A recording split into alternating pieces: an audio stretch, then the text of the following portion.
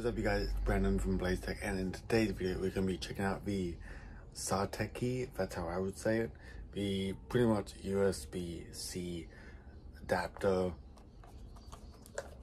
or pass-through, whatever you like to call it. So this is pretty much for my MacBook Pro, what's in it, why I got it, and pretty much if you should pick it up for yourself.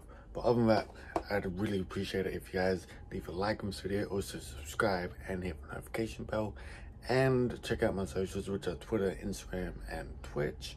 They should be on screen as well as a link for description.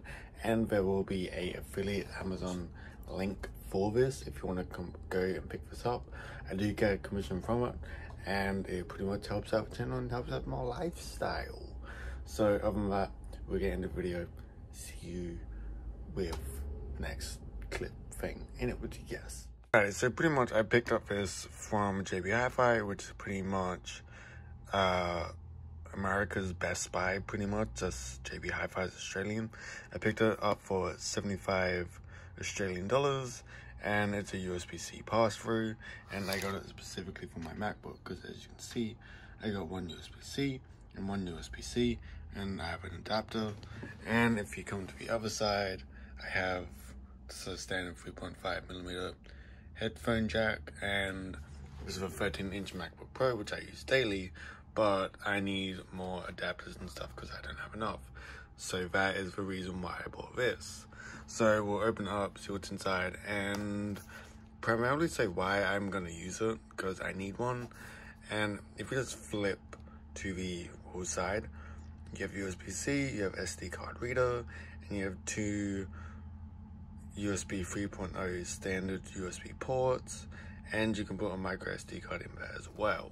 So if you flip it to the back, you got a Satechi for branding, uh, what it can do, like I said, USB-C, uh, SD card and standard traditional USB type A ports and pretty much the same thing here and same thing there, just contact information. That's pretty much the box. So we're gonna take it out, see what it's like, and pretty much I'm gonna run through why I actually need it for me and why it might suit you. Pretty much what it looks like coming straight out of the box.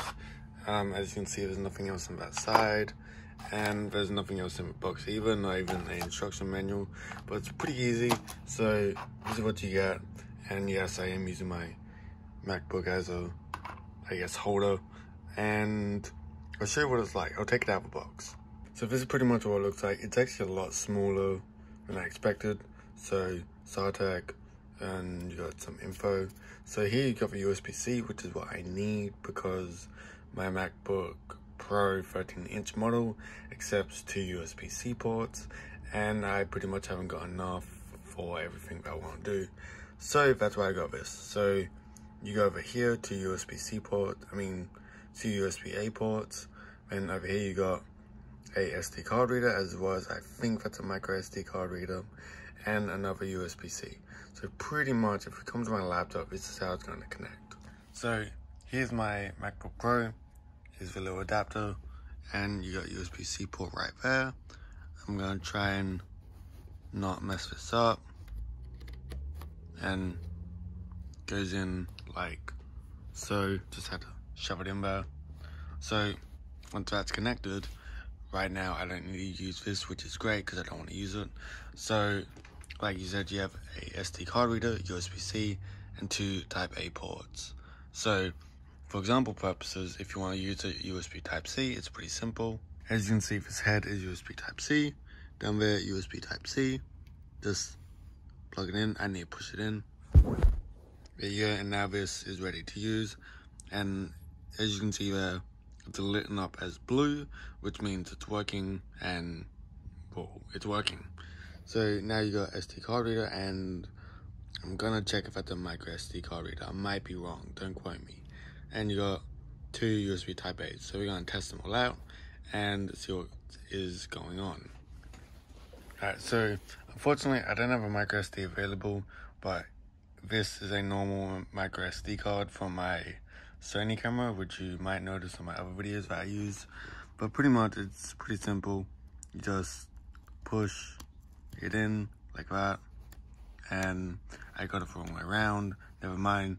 It's just you flip it, then you put it in just like that. And that is all ready to go.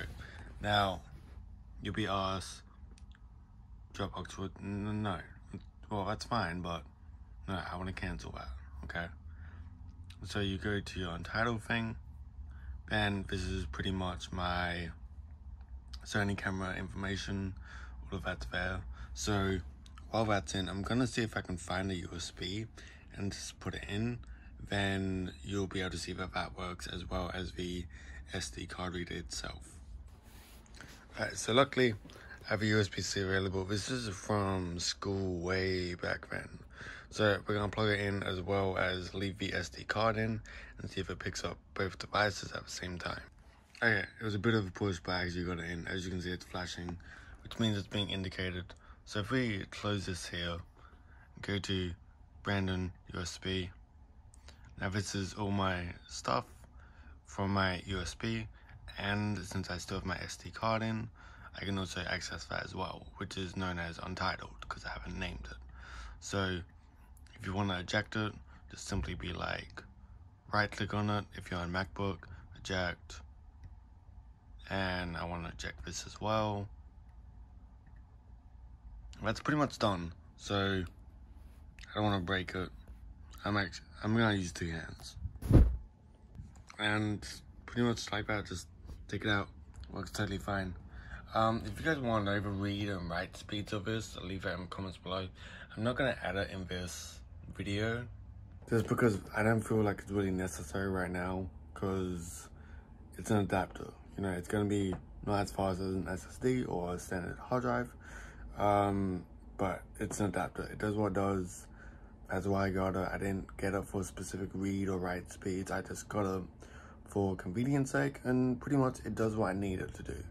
In reality, I just needed one USB-C port and one USB-A and a SD card reader. And instead, I got two USB-As, one USB-C, and a SD card reader. So I got a little more than I wanted. So like I said, I picked this up for $80, I believe, for 75 Australian. Not sure how much USD that is, but I'll leave a link in the description for that. And other than that, remember if you like the video, smash like. Also, tap the subscribe button and the notification bell. And check out my socials. I have Instagram, Twitter, and Twitch. Over here and link below. But no, comment any questions you got and I'll be happy to get back to you when I can. Other than that, see you guys in the next video.